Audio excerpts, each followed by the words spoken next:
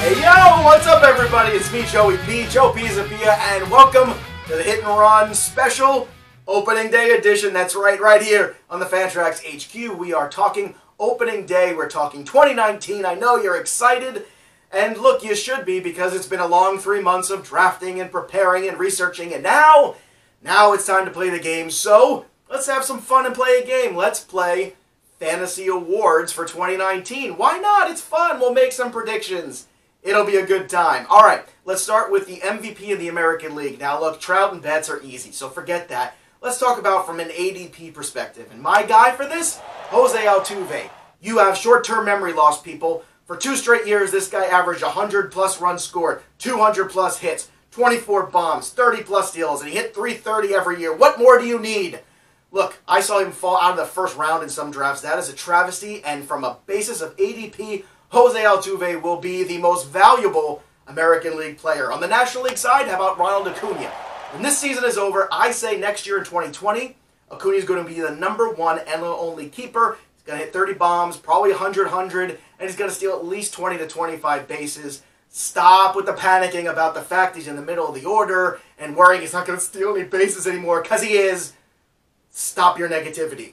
All right, let's go. And actually, you know what? Let's stay with the Braves. And my comeback player of the year, Josh Donaldson. That's right.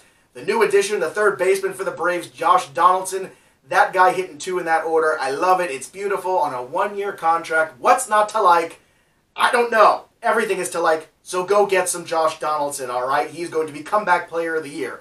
American League comeback player of the year? How about my boy Miguel Cabrera? That's right. Miggy is the man. He looks fit, having a good spring. He's going to DH a ton. That'll keep him healthy. I don't care he's 36. The guy is a Hall of Famer.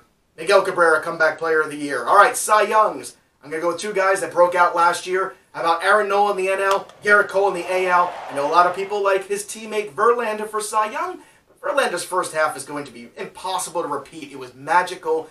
Did you know that Gerrit Cole led the league last year in K per nine for starters? Guess what? He did. And I think that's going to result in a 20-win season for him. Aaron Nola, I think, is going to win 18 games this year. How's that for a prediction?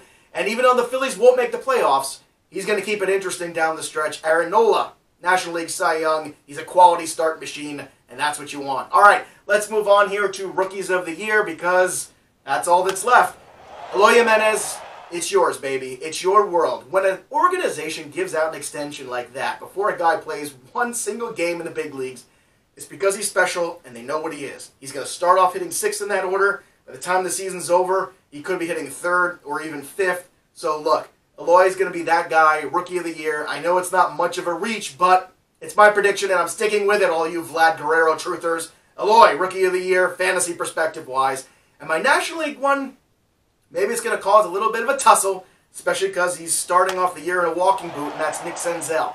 I know Pete Alonso is going to be there from the start for the Mets, but I think Senzel is going to be up sooner than later. I know the plan is for him to play the outfield. I get it. The Reds want him to get comfortable there. But they're going to start feeling some pressure if they get out of the gate slow. And they're going to have Senzel eventually come up, I think, by mid to late May, once he's healthy, and play some games at second base for them because they're going to need that. So keep that in mind.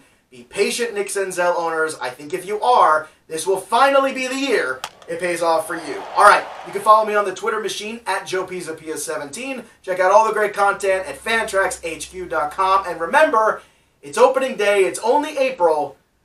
Don't start looking too hard at April and the results you see. It's a long season. Be patient.